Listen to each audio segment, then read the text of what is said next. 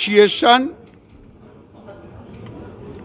ESI अस्पताल के लिए जिला के अधिकारी, क्योंकि यहाँ छः लाख इस एरिया के हमारी बहन और भाई जुड़े हुए हैं। एक अस्पताल के लिए यहाँ से रिकमेंड करें।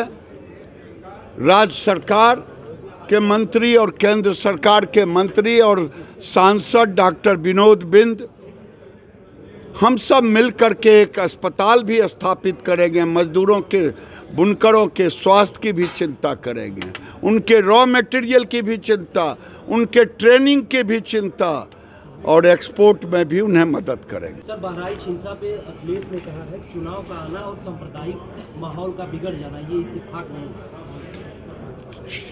जाकी रही भावना जैसी प्रभु मूरत देखी तिन तैसी।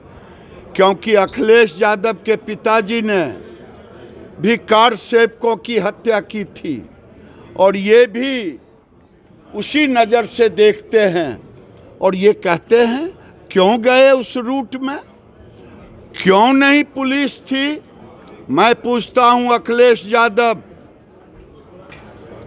क्या उत्तर प्रदेश और देश के अंदर दुर्गा पूजा करने के लिए मूर्ति का विसर्जन करने के लिए हमें पुलिस और रूट की ज़रूरत है।